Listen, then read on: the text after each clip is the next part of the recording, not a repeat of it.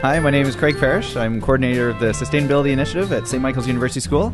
So here we are, we're standing outside Schoolhouse and Brown Hall. Schoolhouse is about a 100 year old building, and it's connected to Brown Hall, which is about 50, 1960, so about 50 years old. Both of them, the hot water and heating was provided by a boiler, which is located in the basement of Brown Hall, which is where we're going to go now.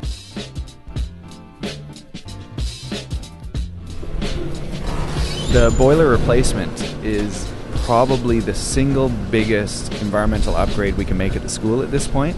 This was one of the lingering dinosaurs in the basement that we've that we've just tackled. So what we have now, instead of one massive boiler, is we have four independent, smaller boilers. Uh, it's kind of surprising because they're about the size of a dishwasher, which after seeing the original one, which was the size of a small, well, it's like a 15 passenger van basically, it's quite funny seeing all these smaller boilers, but they run independently, and that's what makes them work so well. So each boiler, for example, if there's a little bit of demand, say Brown Hall is cooking lunch, one boiler will kick on.